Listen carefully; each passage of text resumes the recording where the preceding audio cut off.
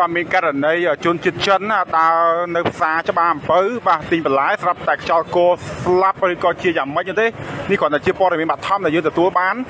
បាទហើយឥឡូវយើងកំពុងតែធ្វើដំណើរបាទចិត្តដល់ហើយនៅត្រង់ចំណុចបាទផ្សារច្បារអំពៅបាទពលតែម្ដងតាមដានទស្សនាជាមួយខ្ញុំទាំងអស់គ្នា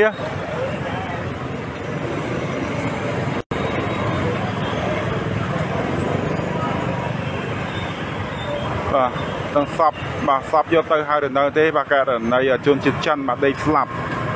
បាទស្លាប់នៅត្រង់ចំណុចផ្សារច្បារអំពៅបាទយើងអត់ទាន់ដឹងថាយ៉ាងម៉េចនោះទេ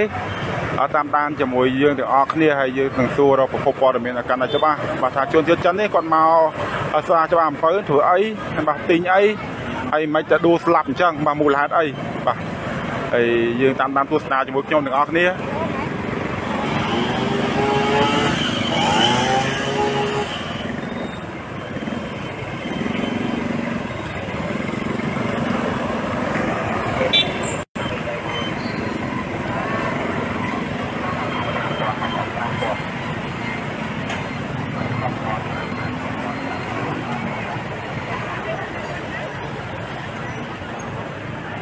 ចិនដីស្លាប់ណាចិនដីស្លាប់ហ៎អូចិនបាត់ហើយបាត់ហើយចាប់បាត់សាទៅទៅវត្តណាស្លាប់ណានេះមិនបាញ់ទេអូកំង5ជាងហ៎មេប៉ោះខ្ញុំតែមកមិញចាប់បាត់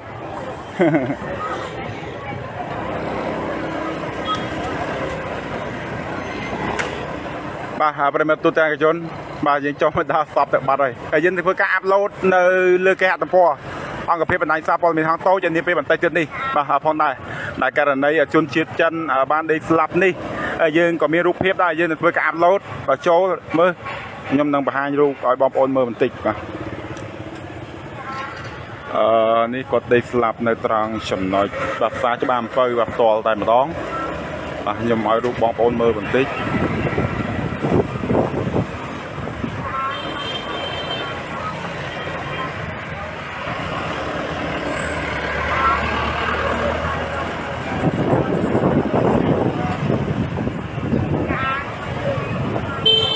ចាប់គោបាទបាទចាប់គោបាទ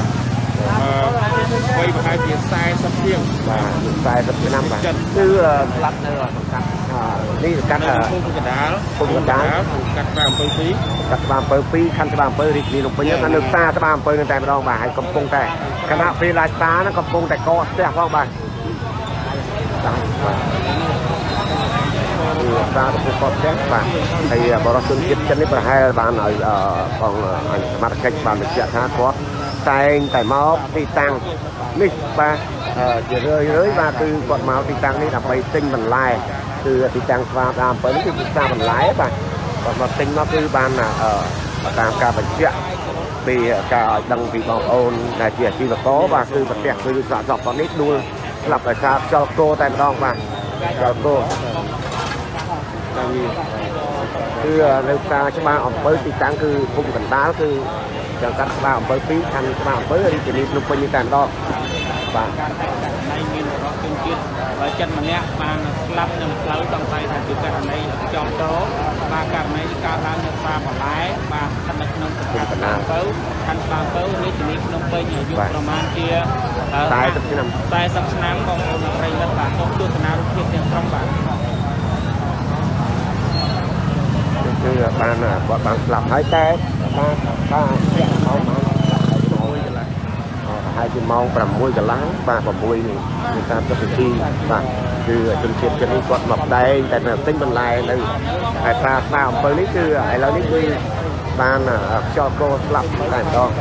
បាទគណៈពេលដែលសមត្ថកិច្ចក៏ដូចជាអាជ្ញាធរអាច បុកខាន់គឺលោកបានមកដល់បាទក៏ដូចជាកងរាជអាវុធហត្ថខាន់បានអំពើបានមកដល់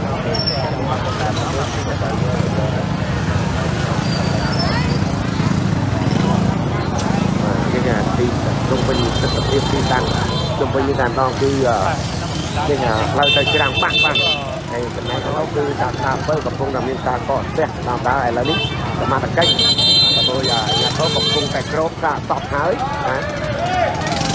នោះគឺតាមតាមអំពើកំពុងតែមានការកកស្ទះតាមដើរឥឡូវនេះសមត្ថកិច្ចក៏ដោយអាញាធរកំពុងតែក្របការសពហើយណានេះគឺសាច់ញាតិរបស់គាត់បានជុំតោបអបខ្លួនបាទ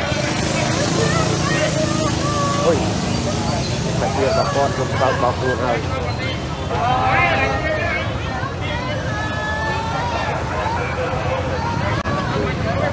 នឹងជាប្រគុណឬនឹងជាសាច់ញាតិរបស់គាត់ទេបាទគាត់នេះទេបាទគឺកំពុងតែបាទកំពុងតែធ្វើការខ្ញុំសោកបោកខ្លួនយ៉ាងខ្លាំងបាទ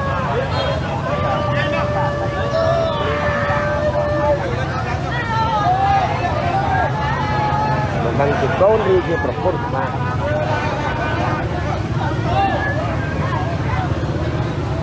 ហើយសូមបញ្ជាក់ថាអឺសាកសពជនជាតិចិននេះគឺបានសាច់ញាតិរបស់គាត់បានមកមើលហើយបាទឃើញសាច់ញាតិរបស់ឃើញសាច់ញាតិរបស់គាត់ហើយ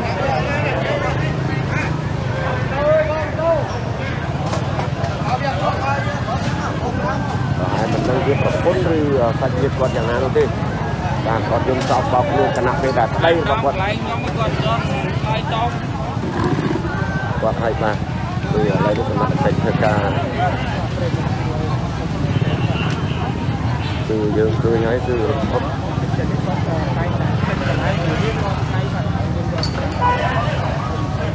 បាទសូមបញ្ជាក់ដល់ទៀតថាទីតាំងនៃកំពង់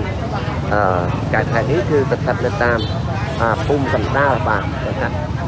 បាទអំពើ2ខណ្ឌច្បារអំពើរាជធានីភ្នំពេញនឹងតែម្ដងបាទគណៈពេលដែលសមត្ថកិច្ចបាទកំពុងតែធ្វើការពិនិត្យអឺនិងធ្វើកសោបវិច័យដល់សាកសពអឺជនជាតិចិននេះបាទបានខ្យល់កោនោះបាទគឺសាច់ញាតិរបស់គាត់ហើយបានយំសោកបោកខ្លួនបាទគឺសាច់ញាតិរបស់គាត់គឺជនជាតិចិនដូចជាតែម្ដងបាទគឺ បាទទីខាងក្រោយនេះការបន្លែនេះតែម្ដងបាទហើយអ្នកមានអ្នកលក់មានបាទហើយនេះបន្តការភ្នាក់ឲ្យដល់បងប្អូនប្រជាពលរដ្ឋក៏ដូចជាអាជីវករលក់លក់ដូរបាទទៅការបាទអំពើនេះតែម្ដង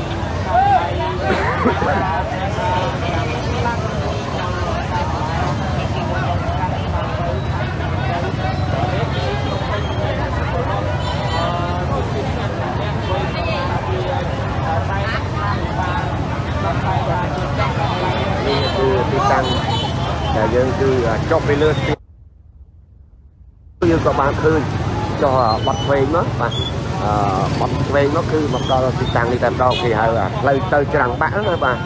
បងប្អូនទូនិជនគឺនេះសាកសពរបស់គាត់នេះកំពុងសមត្ថកិច្ចកំពុងតែបានគ្របរួចទៅហើយគណៈពេលជំនាញនៃអធិការឋានក៏ដូចជាកម្រិតខាងច្បាប់អំពើដល់ បាត់ទុនជួនជួយកទៅតែម្ដងបាទប្រែអាស៊ីធុញចេញទៅដាក់ដៃកងនិយាយទៀតណាបាទប្រិមត្តបាទគឺអម្ដងជាជនជាតិចិននេះបាទគឺគាត់តែងតែមកទិញបន្លែជារៀងរាល់ ថ្ងៃតែម្ដងបាទប្រិមត្តបាទហើយមិនដឹងយ៉ាងម៉េចទេបាទគាត់អង្គុយទិញបន្លែតម្រើសបានឬសាច់ខៅបានតែពីរសាច់ខៅបាទឬបានតែពីរសាច់ខៅបានអង្គុយយ៉ាងម៉េចបាទក៏អង្គុយទៅក៏បានទល់ដួលព្រឹកតែហើយក៏សូមបញ្ជាក់ថាទីតាំងដែលបរិសុទ្ធជនជាតិចិននេះបានខ្យល់កោតស្លាប់នេះគឺស្ថិតនៅអឺភូមិកណ្ដាលបាទអឺ សង្កាត់ច្បារអំពើ2ខណ្ឌច្បារអំពើរាជធានីភ្នំពេញដែរច្បាស់លាស់ដើម្បីផ្ដល់ភាពយុត្តិធម៌ជូនទៅដល់ក្រុមគ្រួសារសាច់ញាតិនៃសពខាងលើនេះផងដែរបាទហើយឡើយគណៈពេលនេះសមត្ថកិច្ចនឹងដឹកសាកសពដើម្បីយកទៅតម្កល់នៅឯវត្តស្ទឹងមានជ័យបាទក្រុមការងារ